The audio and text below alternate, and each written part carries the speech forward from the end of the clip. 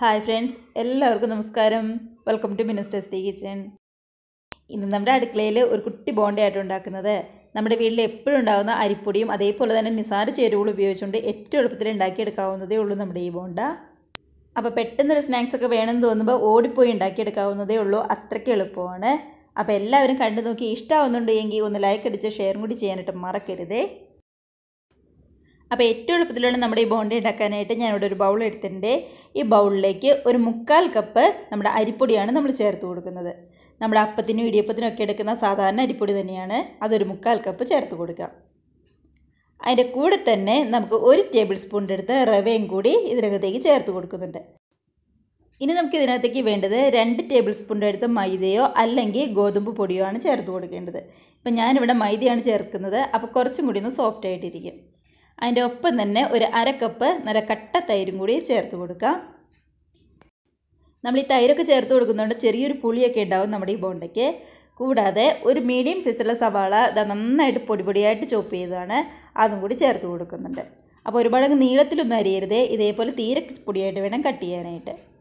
ഒപ്പം തന്നെ ഒരു ചെറിയൊരു കഷ്ണം ഇഞ്ചിയും നന്നായിട്ട് പൊടിയായിട്ട് കട്ട് ചെയ്യുന്നുണ്ട് കൂടെ തന്നെ എരിവിനാവശ്യമായിട്ടുള്ള പച്ചമുളക് എടുത്തിട്ടുണ്ട്. അപ്പം ഞാനിവിടെ രണ്ട് പച്ചമുളക് എടുത്തിട്ടുണ്ട്. ഇതിനിപ്പോൾ നല്ല എരിവുണ്ട്. അതുകൊണ്ടാണ് രണ്ടെണ്ണം എടുത്തത്.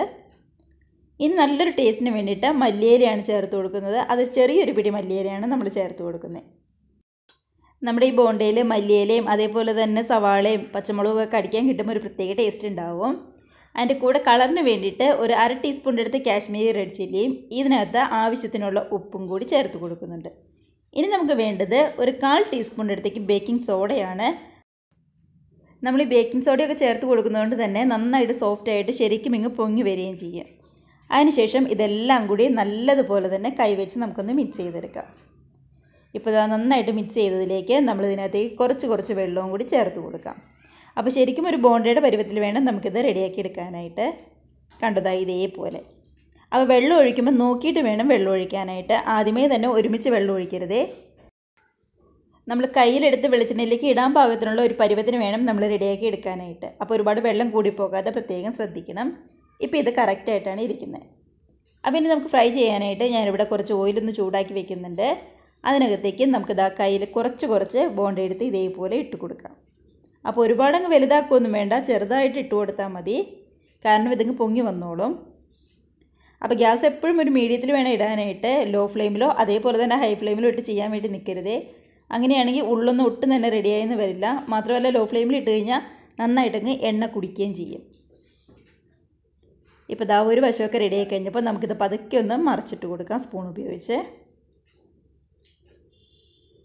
അപ്പോൾ ഒരു മീഡിയം ഫ്ലെയിമിൽ കിടന്നുകൊണ്ട് രണ്ട് വശം റെഡിയായി കഴിയുമ്പോൾ നമുക്കിത് എടുത്ത് മാറ്റി വയ്ക്കാം അപ്പോൾ ഇത്രയേ ഉള്ളൂ നമ്മുടെ ബോണ്ടയുടെ റെസിപ്പി എന്ന് പറയുന്നത്. നല്ല എളുപ്പത്തിൽ നമുക്ക് ചെയ്തെടുക്കാവുന്നതേ ഉള്ളൂ. അപ്പോൾ എല്ലാവരും ഒന്ന് ചെയ്ത് നോക്കുക കേട്ടോ. നിങ്ങൾക്ക് എന്തായാലും ഇഷ്ടമാവും അപ്പോൾ വൈകുന്നേരമൊക്കെ പെട്ടെന്ന് ഒരു ചായക്കടി വേണമെന്ന് തോന്നുമ്പോൾ ഉണ്ടാക്കിയെടുക്കാൻ പറ്റാവുന്ന ഒരു അടിപൊളി സ്നാക്സാണ് കണ്ടോ? അപ്പോൾ രണ്ട് വശം റെഡിയായി കഴിഞ്ഞപ്പോൾ നമ്മളിത് കോരിയെടുത്ത് മാറ്റി വയ്ക്കുവാണ് അപ്പോൾ ഇതേപോലെ തന്നെ നമുക്ക് ബാക്കിയും ചെയ്തെടുക്കാവുന്നതേ ഉള്ളൂ. കരിഞ്ഞു പോകാതെ പ്രത്യേകം ഒന്ന് ശ്രദ്ധിക്കണേ.